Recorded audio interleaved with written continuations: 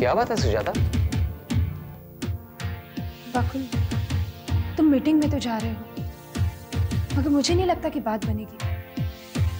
After all Prakash Durga Prasad ji का relative है।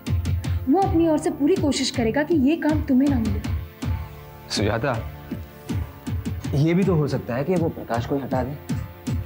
पता है उनके घर में टेंशन चल रही है और टेंशन का कारण है प्रकाश की दोनों बहनें। बकुल रिश्ता आके रिश्ता होता है। और तुम बस पॉजिटिव सोच रहे हो। कहीं ऐसा ना हो कि तुम वहाँ जाओ और वो लोग तुम्हारी इंसल्ट कर दे So what? It's possible. करोड़ों का मामला है। दो चार शब्द सुन लिए तो क्या होगा? मैं अपनी तरफ़ से पूरी कोशिश करूँगा कि ये कॉन्ट्रैक्ट मेरे हाथ से ना जाए। अंडरस्टैंड तुम्हें पूरा यकीन है कि इसका फैसला आज हो जाएगा?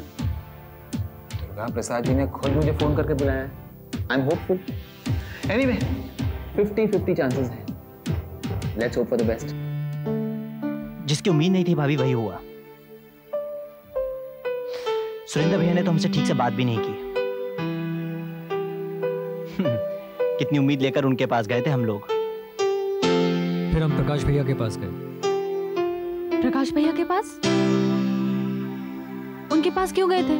भाभी इज़ ऑल्सो वेरी एक्सपीरियंस्ड काफ़ी अच्छी जानकारी है उनको। उन्होंने क्या कहा? पहले तो उन्होंने मना ही कर दिया कि वो हमारे साथ बिज़नेस नहीं करना चाहते। अमित आई थिंक प्रकाश भैया ने बिल्कुल ठीक किया। इन हालातों में उन्हें हमारे घर से दूर ही रहना चाहिए खास करके बिज़नेस के मामले में। भाभी लेकिन हमने उन्हें अपने से दूर नहीं रहने दिया। क्या आदमी है? पार्टनरशिप और साथ देने से तो इनकार कर दिया। लेकिन थोड़ी वक्त में हमें इतनी नॉलेज इतनी डिटेल्स दी कि हम लोग प्रिपेयर हो गए। कुछ पेपर्स भी दिए जिनको हम लोग स्टडी कर रहे हैं। वीरेंद्र भैया ये तो उनका फ़र्ज़ है। आपके लिए हमारे लिए हम सब के लिए। तुम ठीक कह रहे हो सुमन। एटलीस्ट हमें एक शुरुआत तो मिली। वरना सुरेंद्र भैया तो हाँ अमित मैं भी यही सोच रहा था कि मना तो हमें सुरेंद्र भैया और प्रकाश भैया दोनों ने कर दिया। लेकिन दोनों के इरादे और तरीके कितने अलग थे। जहाँ सुरेंद्र भैया के दिल में नफरत थी प्रकाश भैया के दिल में प्यार। भाभी बहुत ही नेक आदमी है प्रकाश भैया। लेकिन ये भगवान हमेशा अच्छे और सच्चे लोगों की ही कठिन परीक्षा क्यों लेता है? हुँ? क्योंकि भगवान जानता है कि इंसान अपनी सच्चाई से हर परीक्षा में पास हो जाएगा। कमाल है सुरेन। जब बकुल ने सब कुछ बता दिया है तो फिर सब लोगों को सोचने की क्या ज़रूरत है कि उसका कॉन्ट्रैक्ट कंटिन्यू करना चाहिए कि नहीं? प्रांजल अभी सबकी पावर्स बढ़ चुकी है। और बकुल का कॉन्ट्रैक्ट तब का है जब हम लोग सब साथ साथ थे। और वैसे भी बकुल प्रकाश के थ्रू ही हमारे ग्रुप में आया था। देखो सुरेन मुझे ये सारी कहानी मालूम है। इसे दोहराने की ज़रूरत नहीं है। जब ये साबित हो चुका है कि प्रकाश भैया गलत है और बकुल सही तो फिर तो फिर सोचने की क्या ज़रूरत है? सुमन के साथ तुम्हारे रिलेशंस जिस तरह के भी हैं प्रकाश के बारे में तुम इस तरह की बात मत करो प्लीज़ सुरेन प्रकाश भैया मेरे भाई हैं इसलिए मैं ऐसा कह रही हूँ। अब तो अच्छा होगा कि वो इस घर से दूर ही रहे। क्योंकि वो मेरे बारे में तो कभी सोचेंगे नहीं हमेशा सुमन के बारे में सोचेंगे। आफ्टर ऑल वो उनकी सगी बहन जो है। मैं समझता हूँ। प्रांजल मैं अच्छी तरह से समझता हूँ। लेकिन बकुल के बारे में कोई भी फैसला मैं अकेले नहीं ले सकता। अब तो वही होगा जो सब लोग चाहेंगे। सुरेन मैं तुमसे ये कब कह रही हूँ कि तुम्हें अकेले फैसला करना है? मैं तो बस इतना चाहती हूँ कि आज मीटिंग में ना तुम प्रकाश भैया के फेवर में मत बोलना। मैं तुम्हारी बात को अच्छी तरह से ध्यान में रखूँगा चलो। ओके बाय बाय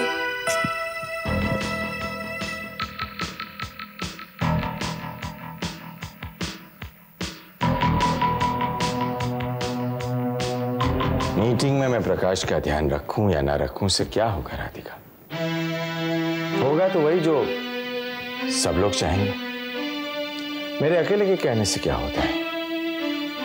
बेकार में कुछ कहकर अपनी जबान को खराब करना है। वो तो सब ठीक है लेकिन मेरा दिल कहता है कि प्रकाश बिल्कुल बेकसूर है। बेचारे की नौकरी भी चली गई। जो हो रहा है ना बहुत गलत हो रहा है। अब क्या गलत है और क्या सही है राधिका? कई बार गलत और सही जानने के बावजूद हम लोग क्या कर सकते हैं? क्या? मजबूर हो गए हैं? हाँ मजबूरी समझो, राधिका। वरना अपने खुद के घर के अंदर जो गलत हो रहा है ना, उसे हम रोक नहीं लेते।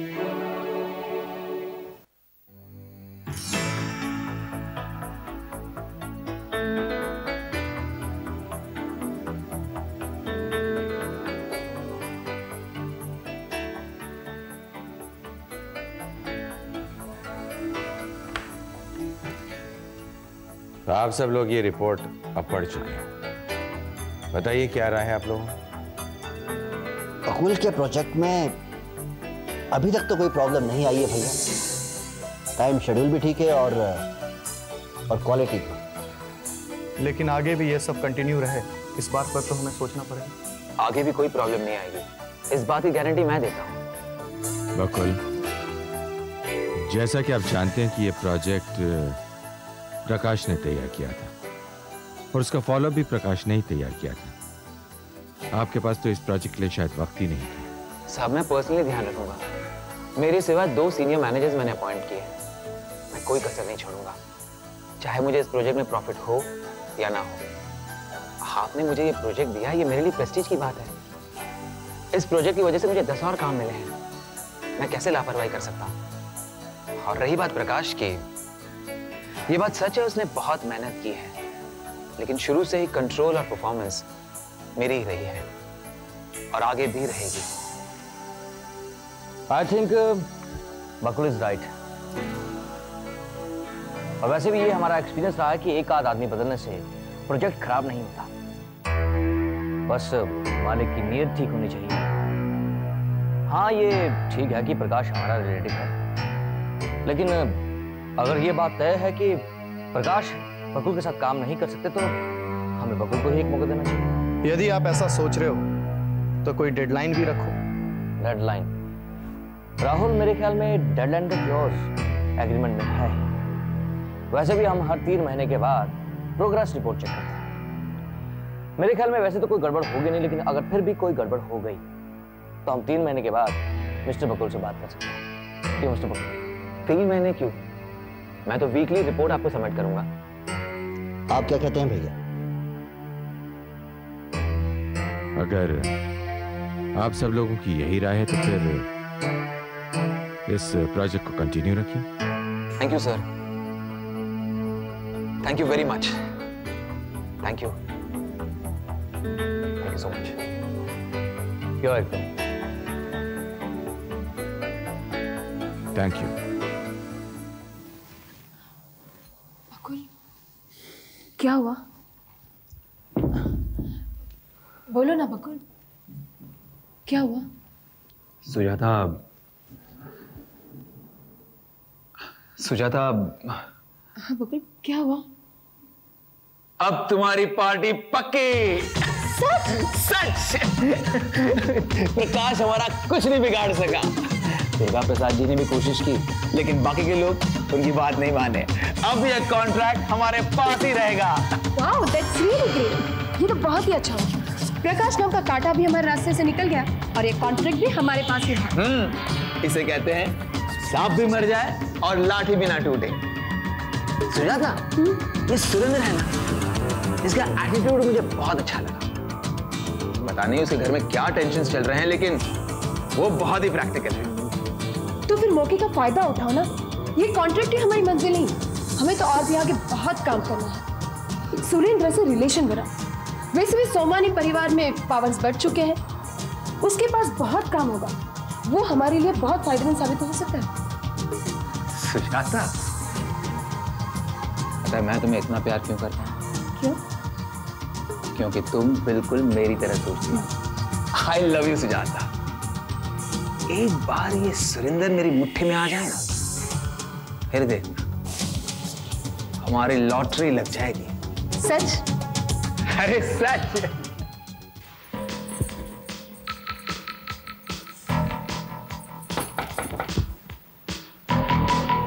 अरे प्रांजल आओ बैठो। मेरे पास तुम्हारी तरह वक्त नहीं है बैठने का।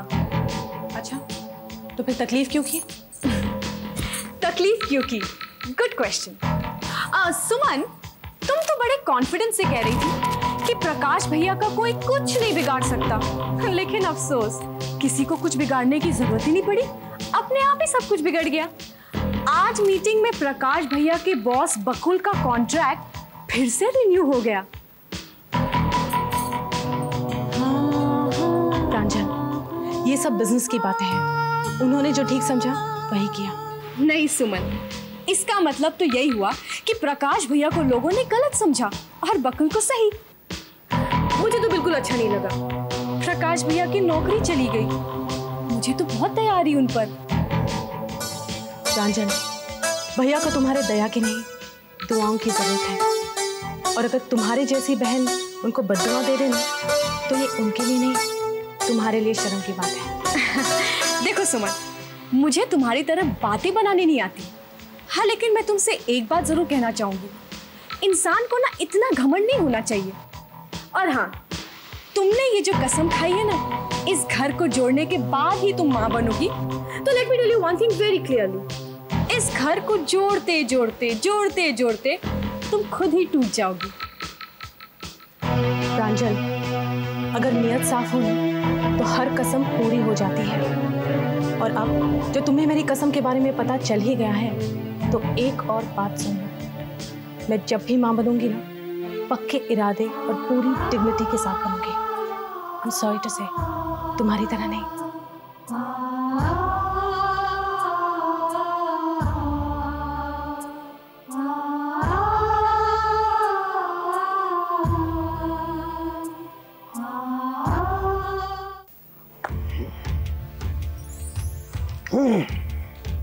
क्या बात है भैया? बड़े थके हुए लग रहे ऐसा कौन सा काम करके आ रहे हो? अरे है उर्मिला बहुत बड़ो काम है। अगर काम है जाएगा तो वारे न्यारे है जाएँगे। बहुत बड़ा फ़ायदा होगा तेरो भी और मेरो भी बांके बिहारी लाल की कृपा से। अच्छा ऐसा भी कोई काम होता है क्या? अरे तू तो हमेशा से जाने अपने मनोहर भैया को जब भी मारे लंबो ही दाव मारे हाँ। इस बार कौन सा लंबा हाथ मारा है आपने? आज तो मैं लाया हूँ प्रकाश के वास्ते रिश्तों। क्या? प्रकाश का रिश्ता? एक तो बेरोजगार ऊपर से नक चढ़ा। आपका दिमाग तो ठिकाने पे है भैया। अरे फिर जल्दबाजी। अरे तू पूरी बात तो सुन ले। करोड़पति खानदान है उर्मिला करोड़पति खानदान। ये तो और भी बुरी बात है। करोड़पति की बेटी। नाक में दम कर देगी। अरे तू बीच में क्यों टोको करे? पूरी बात तो सुन ले मैं कह रहा हूँ। देख लड़की ऐसी वैसी है ज़्यादा अच्छी ना है। और वो काके है भाई एक दो बार तो अबॉर्शन भी करा चुकी है। हाँ। अरे यही तो पोल है जा पोल में घुस जाओ तो लाखन को कमीशन तो मेरो और तेरो भी फ़ायदा ही फ़ायदा तुम्हें तो बस अपनी कमीशन की पड़ी रहती है भैया। इसमें मेरा क्या फ़ायदा? करोड़पति की बेटी। हम्म, नाक में दम कर देगी। और ऊपर से ये दोनों बाप बेटे। भैया ये चाल तो तुम चलाओ मत। अरे उर्मिला तू भी बावली है गई है का है?